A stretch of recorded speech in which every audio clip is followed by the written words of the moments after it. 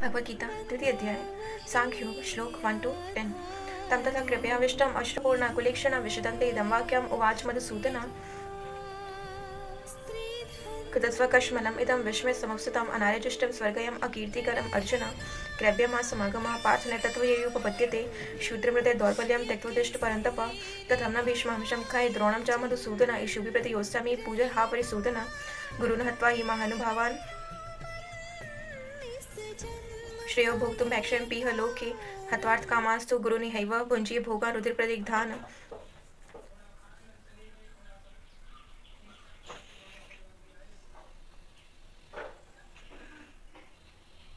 न चैद्युद्यं महक्तरन्नो गरीयो, यद्वा जयं यदिवानो जयु यानेव हत्वा न जिजीविषं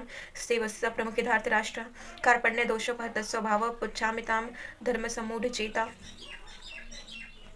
यच्छ्रेस्यानिष्टं ब्रूहि तन्मे हम शादी माँ त्वां प्रपन्यं न हि प्रपश्यामि ममापनुद्याद् यच्छुकमुच्छोषणमिन्द्रियाणाम् अवाप्य भूमां वस्पत्यमृद्धं राज्यं सूराणपि चाधिपत्यम् एवमुक्त्वा ऋषिकेशं, गुडाकेशः, परन्तपः न युत्स इति गोविन्दम् उक्त्वा तूष्णी बभूवः तमुवाच ऋषिकेशं प्रसन्न भारत और सेनी सेनियोरुभयोर्मध्ये विशदन्ते इदं वच। अब इन श्लोकों में क्या कहा जा रहा है कि जब श्री कृष्ण अर्जुन को देख रहे हैं, किस तरह वो आंसुओं से भर चुके हैं, किस तरह वो अपनों के दुख में, किस तरह वो मोह माया से पीड़ित है, वो नहीं जान पा रहे हैं, सच क्या है, वो इन आँखों के परे देख नहीं पा रहे हैं तो कृष्ण कहते हैं, हे अर्जुन, अपनी दुर्बलता का त्याग कर, ये सच नहीं है, और तू सच को जान।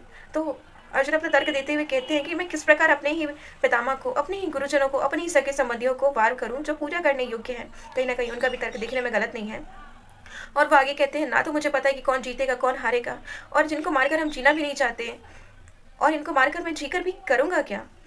इनके बिना तो पूरी सृष्टि का राज्य मेरे लिए किसी काम का भी नहीं है।